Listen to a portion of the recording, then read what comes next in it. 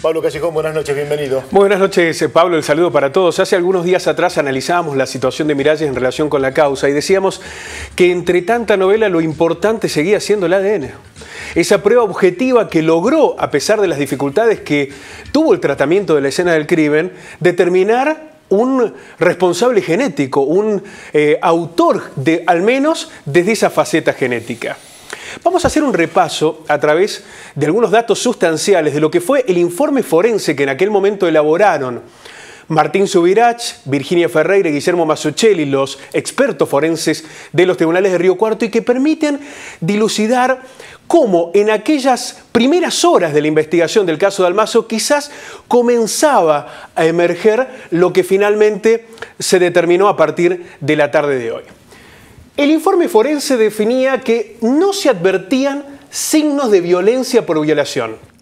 Este es un dato fundamental. No había eh, elementos en la autopsia que permitieran determinar que a Nora la hubiesen violado.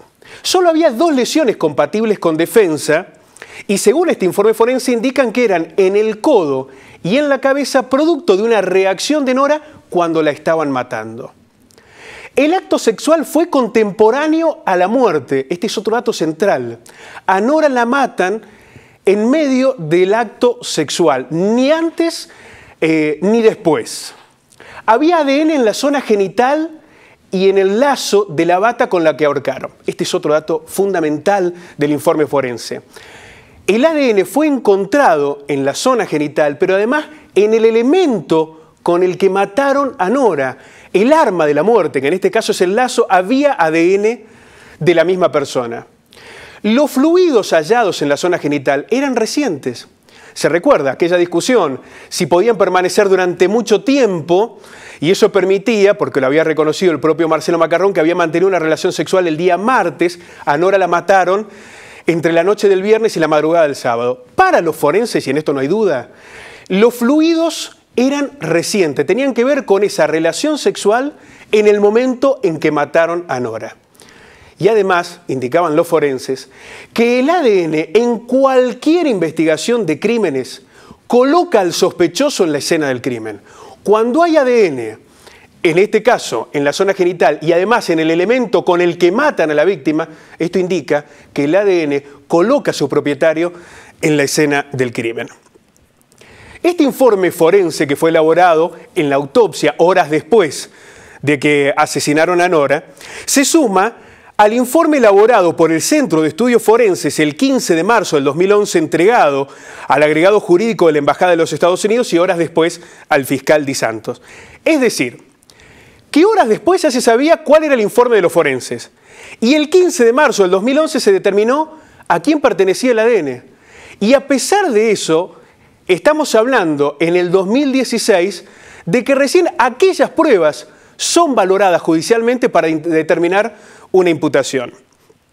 Y hay un dato más que permitiría cercar por qué los forenses iban por un camino y la investigación de Di Santo iba por otra.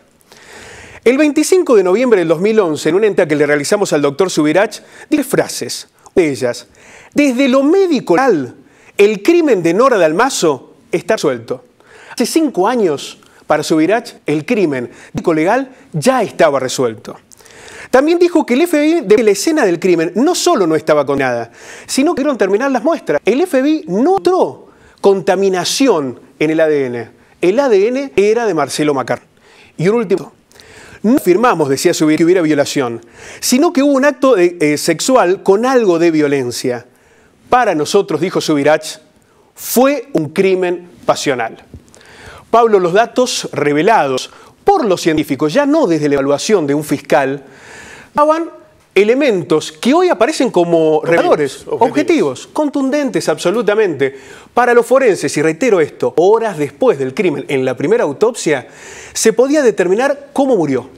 Y el ADN, a partir del informe del CEO Forenses, determinó que era de Macarrón, de ningún otro. Esto hoy aparece como, concluyente, casi 10 años después. Un elemento que habrá que ver ¿Con qué otros se suma? Porque Miralles dijo también en la entrevista que, si bien apuntó a lo que ya estaba, existen otras, eh, otros elementos que habrá que ver una vez que se conozca el fin del secreto del sumario, qué más pueden aportar. Pero los datos ya estaban. estaban allí, solo dependía de una evaluación diferente, como en este caso de Miralles. Lo que cambió. Y la gente, ya cualquier a pie, puede tener una circunstancia que es preocupante, que llama muchísimo la atención. Más allá de lo que ocurra con la causa de aquí en más.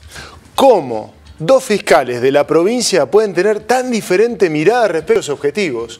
¿Cómo se administra la justicia? Ya con esto se abre en definitiva el gran debate que se cierne sobre esta causa, independientemente de lo que ocurra de aquí. Si hay un dato que cerrar lo que ha sido es la investigación durante el proceso anterior, es que hubo tres imputados con tres móviles diferentes y en tres circunstancias totalmente diferentes, a pesar de que estaban estos estudios. Gracias Pablo, buenas noches. A ustedes.